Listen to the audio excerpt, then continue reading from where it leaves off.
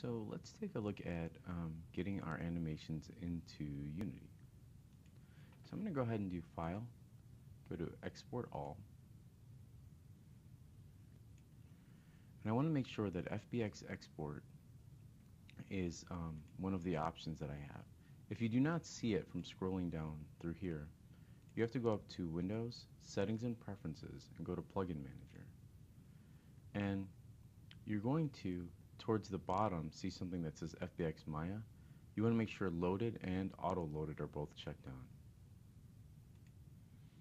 Now let's go back and do our file export all. And um, what we're going to do is we're going to do a couple things. Let's see if our your view when you first um, start it up looks something like this.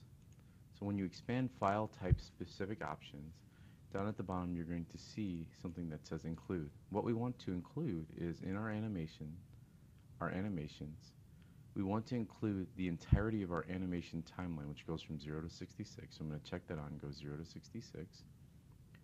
Blend shapes and skins are fine. Skin definitely. Blend shapes are not necessary, but we're going to leave it on. That's something we'll cover later. And then we also want to check on embed media.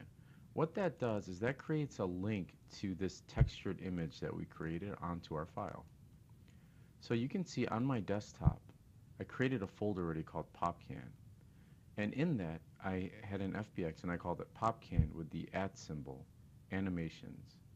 I'm just going to hit export all and hit yes. Let me go ahead and close that out. Now in the next, uh, what I'm going to do is pause the video and open Unity.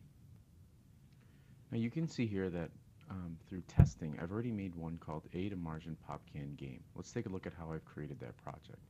Go ahead and click New. Where it says New Project Name, I'm going to go ahead and name it my first initial last name. And then I'm going to name it Pop Can. Now, you don't necessarily have to name it Game, but these are usually a working title for whatever your game is going to be. And then I'm going to go ahead and hit Create Project. As that's building, uh, I'm going to pause the video. Now if you have a gray interface and not this dark gray one, I use a professional version of Unity. You have, to be honest with you, pretty much the same access as I do. So let's go ahead and reset our layout. So I'm going to go to Layout and go to 2 by 3 and that'll reset my view. And then what I'm going to do is right click in my Assets folder, go to Create Folder, and I'm going to name it PC for Playable Characters. And then inside of this, I'm going to right click again, I'm going to go to create folder, and I'm going to name this pop can. I'm going to right click on this folder, import new asset, and then on my desktop, I'm going to navigate to that pop can folder. And I'm going to find my pop can add animations and hit import. Now if I drag this into my view, what you'll notice is, uh, let me hit F to focus. I'm going to hold Alt and left to rotate rotate. When I press play, no animations play. That doesn't mean that your animations didn't work. So if we select our can inside of our project view and we go to our animations tab, let's go ahead and pan up and zoom out a little bit. You can see when I press play, it goes through the entirety of my timeline from 0 to 66.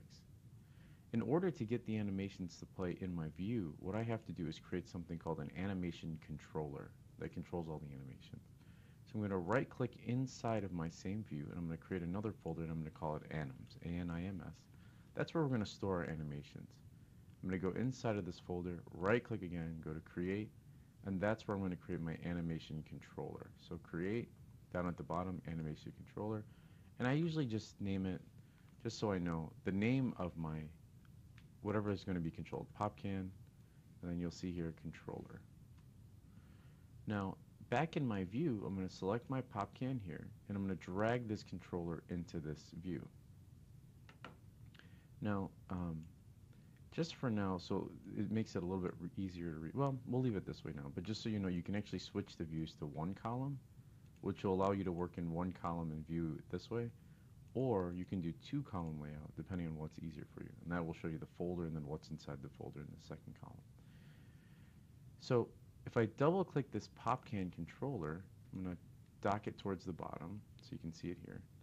What you'll notice is it can be it can feel a little daunting and um, all we're doing in here is setting up our animation states. So uh, what a state is, is if we go to our PopCan here, we expand this, um, you'll notice that we have one big animation state called animations. Well, we need to break this up into several states. So I'm going to select my PopCan here. If you remember from our last video, our locked in frame was 0 to 5. That's where our character is doing nothing. But we have a idle animation. So I'm going to hit plus, and I'm going to name this idle. Oops, let's make sure this is all selected. Hit enter to lock that name. You'll see that it changed here. I'm going to go 5 to 35, and that constricts it to this part of the timeline. Now if you remember, 5 to 35 is just my idle state. And I want that idle state to loop when my character, when my player is not touching it. I'm going to go ahead and hit apply. And what you'll notice off to the side here is now I have an idle state. So I'm going to actually select that and hit Control D to duplicate it because what we're going to do later is we're actually going to attach some sounds and we need that as a separate file.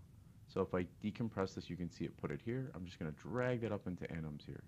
Let's expand that one more time select our guy here, and we have to do this one more time.